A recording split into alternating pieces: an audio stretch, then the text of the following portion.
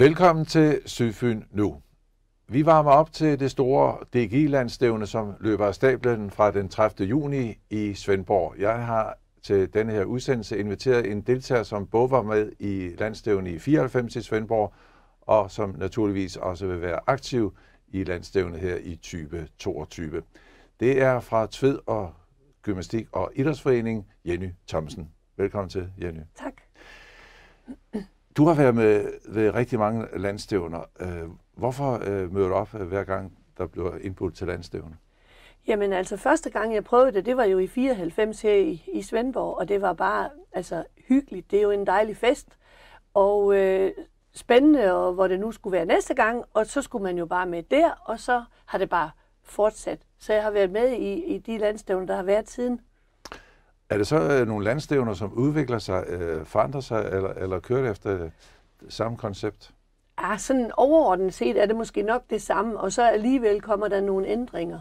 Mm. Øh, især på med hensyn til øh, altså starten øh, med indmars, og så blev det lidt moderne at lave nogle parader, og, og så var vi nogle af vi ældre, som var vant til at, at stå inde på stadion og være med i det hele, der bare skulle gå ud igen, og ligesom følte, at vi ikke fik øh, øh, hvad hedder det, starten med. Ja. Øhm, men det, det bliver jo så spændende at se, hvad man, hvad man finder på nu. Ja. Og så har man også lavet lidt om på med hensyn til før, så lavede man jo opvisningen mm. på det store stadion, hele amtet, som det jo også var dengang. Ja. Nu har man lavet meget mere, det er kun de store hold, der er på stadion, og så er der flere opvisningssteder rundt i, i byerne. Ja. Du har også prøvet at være frivillig øh, medarbejder ved et andet landstævne, nemlig sidste gang, der var landstævne, det var i Aalborg. Hvordan var det? Jamen, det var rigtig hyggeligt, og det var faktisk, øh, de var kommet lidt i beknep med, med hjælpere deroppe, så det var lige et par dage før, at vi sagde ja til at være med til at servere morgenmad for efterskoleeleverne. Og de skulle spise i Gigantium. Ja. Så, øh, og det var op klokken 4 om morgenen, og så cyklede vi ind til Gigantium og var med til at at give mad til de der unge mennesker. Og det var en, en sjov oplevelse, både fordi vi var mange, og de var mange. Men se de der unge mennesker komme i øsende regnvejr om morgenen, og ja. lige så ranke og dygtige de var til gymnastik, lige så sløve og, og mutte var de om morgenen. ja, der var de stille. Ja, det var de i ja. hvert fald. Der, der er mange, der siger, at de glæder sig så meget til at komme til Svendborg til landstævne, fordi Aalborg, det var en stor by, øh, hvor det var meget spredt ud, spredt ud omkring i byen, øh, de forskellige aktiviteter. Ja, og der, altså Aalborg er jo en, en større by, og når man så spreder det ud, jamen, så er det klart, så bliver det ikke så intimt. Mm. Øh, fordi nu, nu ved jeg ikke, om der kommer lige så mange deltagere til Svendborg nu, som der var i, i 94. Men altså, gaderne var jo fuld af mennesker hele tiden. Fordi at jeg havde ikke ferie, jeg arbejdede også mm. ned på Sankt Nikolaj Apotek, ja. lige i gågaden, og der var et mylder af mennesker ja. hele tiden. Og vi skal selvfølgelig snakke om dine oplevelser ved 94, inden vi starter, starter om det kommende landstævne. Ja. Og så er du selv lidt inde på, at du spillede håndbold øh, ved landstævne i 94 i Svendborg. Ja. Hvordan var det? Jamen, det var fint. Dengang der spillede jeg håndbold i Enserans hos Minde. Mm.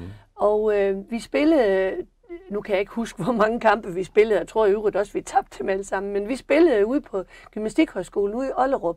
Og så en enkelt kamp nede i Stævnecentrum. Og øh, så fik jeg fri fra arbejde, når jeg skulle spille. Og øh, så skulle jeg selvfølgelig med den der landstævne bus derude og også tilbage igen. Og øh, så blev jeg sat af op ved, ved Dronningemann, eller deroppe omkring, der var en holdeplads, og så skulle jeg så ned på arbejde. Men det tog simpelthen en evighed, for der var så mange mennesker i gaden, at man gik ikke bare fremad. Nej. Så, og så, det, så du kom måske for sent både til håndbold og til arbejde? Jeg kom ikke for sent til håndbold, men jeg var ikke tilbage til tiden til arbejde, som jeg lovede. Det var jeg bare ikke. Nej. Og der var ikke noget, der hed mobiltelefon, så man kunne ringe og sige, at jeg kommer lige om lidt. Ja. Du mener, at du kan huske, at I ikke vandt nogen kampe på håndboldbanen. Ja, det tror jeg ikke, men, vi men, men det er vel også det med, bare det at være med. Ja, præcis. Og vi, vi har ikke, vi spillede ikke i nogen øh, høje række. Det var jo serie 3 eller 4 eller sådan noget. Mm. Men mange af dem, der var med til landstævn, det var jo, nogle af dem var jo øh, nogen, der måske tidligere havde spillet på meget højt plan, eller stadigvæk gjorde det. Mm. Og nu vil de bare til landstævne. Og så vi blev jo skudt sønder sammen i nogle af kampene, ikke også? Så ja. jeg kan ikke lige helt huske det, men jeg, men jeg tror ikke, vi vandt nogen. Nej. Men det er jo sådan en afslappet stemning omkring landstævne, at selvom man har en modstander i en håndboldkamp, så er der også omfavnelse sådan midt i en kamp med, med en modstander. Rigtig hyggeligt. Og så øhm, øh, hvis jeg lige må sige det, så øh, i 98, der, kunne vi ikke, der blev håndbolden ikke til noget, så der lavede jeg gymnastik. Men så pludselig, så, kom, så gik der sådan en løbeilde, der var nogen, der manglede nogle spillere. Ja. Om der var nogen, der kunne spille håndbold. Ja. Nå, men det kunne jeg jo godt. Og så spillede jeg sammen med, med nogle damer, jeg kan ikke engang huske, hvor de var fra, Nej. hvor vi var nogle stykker, der lige sagde, vi hjælper jer. Ja, ja, ja. så igen, det er det fællesskab, og alle er, er sammen og, og kan mm. og vil hinanden. Ja. ja. Tilbage til 94, ja. du, du var også med i åbningsceremonien. Det, det, det, det er vel også nogle øh, ting, man stadigvæk kan huske? Altså det er jo bare, jeg tror det er det, der har sat sig mest fast i mig. Øh, det, dengang var man jo inddelt i amterne, og Svendborg Amt, vi havde vores flotte røde-hvide dragter. Og sammen med alle andre blev vi jo stillet op ude på øh, banerne ude ved, øh, ved den gamle idrætshal, ja. og så skulle vandre ind på stadion. Og vi skulle ind som de sidste, for vi skulle ligesom lave omkransen af hele seancen der. Og øh, jeg kan huske på vej ind, så var der nogle gymnaster, øh, som, som skældte lidt ud på dem, der var håndboldspillere. Der var selvfølgelig også nogle unge gutter. Fordi det var vel nok irriterende, de kunne ikke, for de jo ikke forstand på at gå i takt jo. Nej. Nej, så det var jo ikke i orden. Men øh, da vi så nåede op på rampen og kiggede ind over alle de andre, næsten 30.000 tror jeg det var, der stod derinde, der var der simpelthen sådan, åh oh, nej. Ja. altså det gav sådan et sug i en. Og så fik vi at vide, at nu kunne der næsten ikke være flere, men så måtte de rykke sammen. Og det endte med, at alle var der. De sidste stod lige på rampen, men ellers så var alle bare med. Og så hører taler af statsminister og Leif Mikkelsen, som var formand for DGI, og synge, der er et yndigt land. Ja, altså, jeg får næsten gåsehud igen. Ja. ja. Og så var det også øh, feststemt at deltage i afslutningsceremonien. Ja, det var det. Det, det skulle vi bare... Det var, så vidt jeg husker, var dronningen med, ikke? Jo, dronningen var der, og øh, på det tidspunkt var, var min datter, hun var, var fire år, så øh, vi skulle jo ud og, og se dronningen, og gjorde jo som alle andre, prøve på at mase os frem, og, og så pludselig så, så klager hun sig jo, mor, jeg kan ikke se noget, nej. Og det var der så en, øh, en betjent, der hørte, og så sagde han, ved du hvad, lille ven, det er der råd for. Og så tog han hende op på skuldrene, og så sagde hun der, og så havde hun jo bare første parket, for han stod jo helt fremme og skulle holde de andre tilbage, og så kørte dronningen lige forbi. Det synes jeg, det var lidt en, en sjov historie. ja, det er fantastisk. Ja. Så hun sad som en dronning og så på dronningen? Ja, det kan man godt sige. Ja, ja, ja. Men ja. Så, sådan overordnet, øh, hvordan var landstævnet i Svendborg i 94? Jamen altså, det var jo en stor fest for byen, og det er jo også det, man hele tiden hører fra dem, der der kunne lide det, fordi der var jo også mange, der synes, der blev brugt for mange penge. Og, men, men jeg tror da, at øh, altså, nu er ikke øh, erhvervsliv, eller, altså, det, det har da givet noget afsmitning på nogle ting, og, og måske med hensyn til turisme. Nogen måske har mor eller far været til landstævn. Ved I hvad, I skal med? Vi skal på ferie i Svendborg, der var så dejligt. Altså en stor fest, tror jeg, både for dem, der var her, men også for os, som, som boede her. Fordi vi var jo næsten dobbelt så mange, som vi plejer at være i, i Svendborg og omegn, ikke? Med den her fantastiske oplevelse for dig og mange andre øh, øh, ved landstævnet 94, så, så var du vel glad, da du fik at vide, at landstævnet skulle til Svendborg i 2021?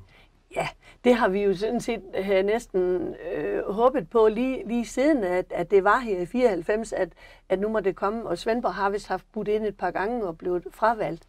Så da det endelig blev i, i 21, så var vi jo bare lykkelige for, at nu, nu skulle vi til det igen, og kunne måske være med i det på en anden måde, ikke også? Ja. Hmm?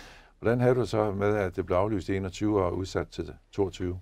Jamen nok ligesom med, med alt muligt andet, som, som corona jo desværre har været skyld i. Men, men set i bagspejlet, lige da de aflyste det, så tænkte vi, ah, det må da være over det corona. Men, men det var godt, at de gjorde det i tid, og det var rigtig godt, at de gjorde det. Ja. Og nu ser det jo ud til, at det forhåbentlig øh, lykkes i år, ikke også? Ja. Så selvom vi måtte vente et år mere, så, så tror jeg, det var rigtig godt. Ja. Sidste gang, der spillede du håndbold. Det skal du ikke i år, ved jeg. Nej.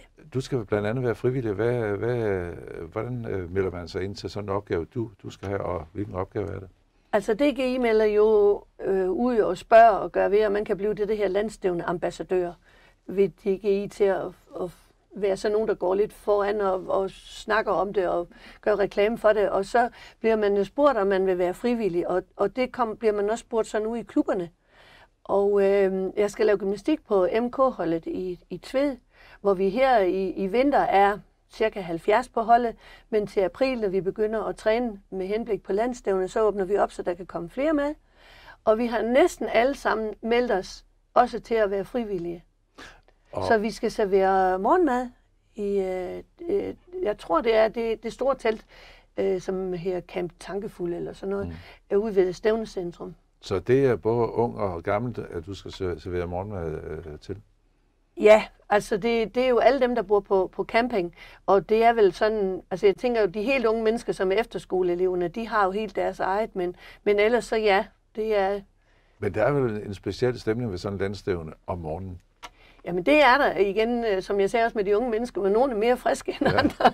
Nogle har måske sovet i to timer, og nogle slet ikke, og andre har, har sovet hele natten, og, ja. altså, og det afspejler sig jo lidt om morgenen. Men, men folk er glade, og det er hygge, og nu vender der en ny dag med, med sport og glæde og alt det, man gerne vil. Ja.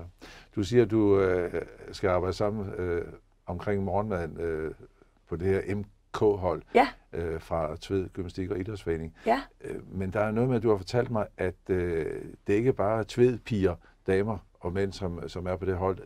Man kommer langvejs fra. Hvorfor? Jamen, det gør man. Øh, det, MK-holdet der, det, det, var, det startede, eller det var det hold, som også øh, lavede opvisning i Silkeborg i 98, og så de trænere, der var. Mm. Og igen, det var så for hele Fyn, og så er der mange af dem, der har fået lyst til at, at blive der på grund af trænerne, og forhåbentlig også de andre, der var der. Ja. Så, så vi har, selvom det her Tved Gymnastik og Idrætsforening er her i Svendborg, så er der fra Kærteminde og Ullerslev og Ryslinge og Årslev og Rudkøbing og ja. Espe. Og, altså, de kommer alle vejen fra, og vi har et super hold. Og vi husker også tredje halvleg, selvom der ikke er noget, der her halvleg i gymnastik. nej, nej, det er rigtigt. Ja.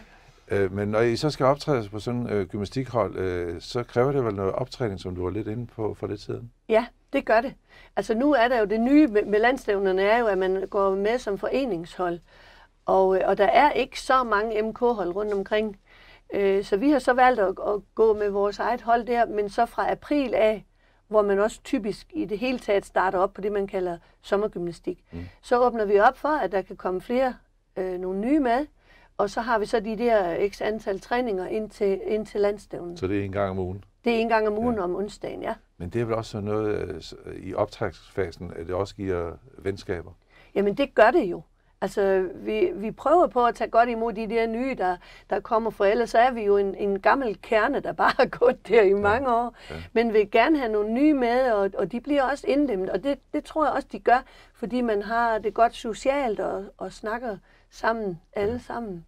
Udover at du skal lave gymnastik, og øh, du skal stå for morgenmad, øh, er du så sådan en, der også en impulsiv lige skal prøve nogle ting, som der er masser af tilbud sådan en landstævne? Altså, der er så mange øh, workshops og, og muligheder, så øh, der, der bliver noget løb, så, så hvis ikke det kolliderer med en opvisning, så, øh, så tror jeg gerne, jeg vil det. Og der bliver også noget cykling, som man måske kunne. Og det kan også være, at der lige pludselig er noget helt tredje, man lige tænker, hov, det skal jeg da lige prøve. Ja. Der bliver også noget med noget teater. Mm. Øh, det ved jeg så ikke lige, om jeg får tid til, men Nej. det kunne jeg egentlig også godt tænke mig. Og så har jeg lovet, øh, hvis det bliver at være med i en lille seance omkring noget jumping. Mm-hmm. Ja, det er noget trampolin. Det er sådan, man hopper i sin egen lille trampolin, ja. ja, ja. Mm. Men uh, sådan overordnet, hvad, uh, udover at uh, du er jo aktiv ved landstævne, men når du så har lidt fri, uh, overordnet, hvad er det så, du glæder dig mest til ved det her landstævne? Jamen, hele festen, altså komme ned i, i byen og, og høre noget musik, der er jo simpelthen, han har sagt, ikke den type musik, der ikke er, er hyret i år. Jeg kan ikke lige helt huske det, men Hjalmar og Anne Lindet og Lillehold kommer i øvrigt også igen, har jeg set. Øh, det var jo ham, mm. der lavede landstævnsangen i 94. Ja. Så altså hele festen, og så har vi øh, også selv øh, åbnet vores hus for nogen øh, fra Sønderjylland, som gerne vil bo lidt mere komfortabelt end campingplads. Mm-hmm. Så vi tænker, at måske også derhjemme, når, hvis ellers vi er der, at det bliver hyggeligt og festligt også. Og det er da også øh, rart at ligesom være med til at åbne, åbne sit hus for at, at kan øh, indlucere nogle folk, ja. som har svært ved at finde plads. Ja, det er nogle, nogle øh, venner, vi har i, i Haderslev, som, øh, som spurgte, om vi kunne hjælpe med, hvor kunne man bo, når nu der ikke var hoteller og sådan noget. Mm. Og så, så snakkede vi lidt om, at I kan da bare bo ved os. Ja. Men det er vel også spændende, indmarsen, det er noget med en, en parade, øh, hvor der skal gås. Ja, Ja, det glæder jeg mig også meget til. Nu har vi prøvet parade i, i nogle af de andre byer, men, men prøve at være med til det i, i sin egen by, det, det glæder jeg mig rigtig meget til. Ja. Og så har vi jo klaget over, at deltagerne fra paraden, eller i det hele taget deltagerne ikke fik lov at være en del af åbningen, øh, at vi i hvert fald får lov at overvære den i år. Det har DGI lovet os, for det har de altså det har de fået lidt, lidt klø for, at de, vi ikke har kun de andre gange ja, ja. lige gå ind over stadion og så ud og se det på en, en stor skærm, når man ellers er den, der har betalt for at være med. Det, det har vi været mange, der synes var lidt, lidt trist. Ja. ja. Jenny Thomsen, tak fordi du øh, kom i vores tv-studie, og du må have et rigtig godt landstævne. Tak. Jeg er tilbage lidt senere i udsendelsen, øh, hvor det skal handle om Geopark, det sydfynske øhav. Så på gensyn.